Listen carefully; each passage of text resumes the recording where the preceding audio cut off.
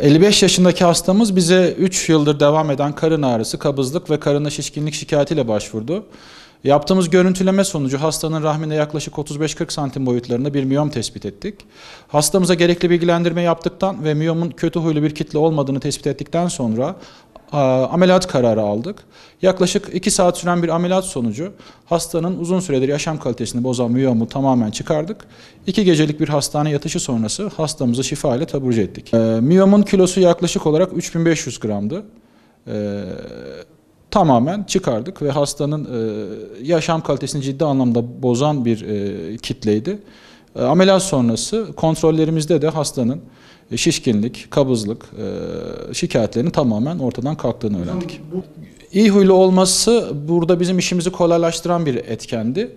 Ee, önceden tespit etmek çok e, kolay olmasa da rutin yıllık e, kadın doğum kontrolleri esnasında tespit etmek e, kolay. Ultrason ile tespitimizi yapıyoruz. Yaşam süresinde kısıtlamayan bir e, hastalık olduğu için erken tespit e, çok şart değil.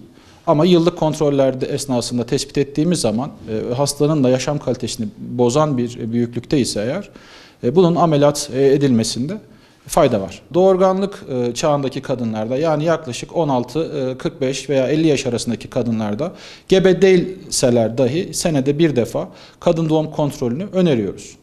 Şikayetleri olmasa dahi. Şimdi hastamız bizim 55 yaşında olduğu için yaklaşık 7 senedir menopozdaydı. Dolayısıyla e, hastamızın e, gebelik e, ihtimali bu hasta özelinde konuşacak olursak zaten yoktu.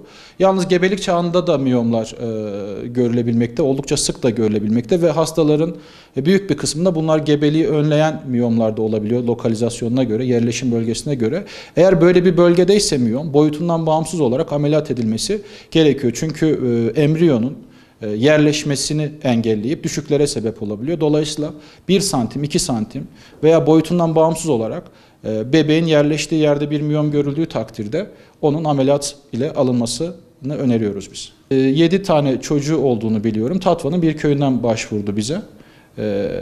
Dediğim gibi karında şişkinlik, kabızlık ve 3 yıldır devam eden karın ağrısı şikayeti mevcuttu. Ameliyat hazırlığımızı yaptık. Ameliyatımızı gerçekleştirdik. Hastamızı şifayla taburcu ettik.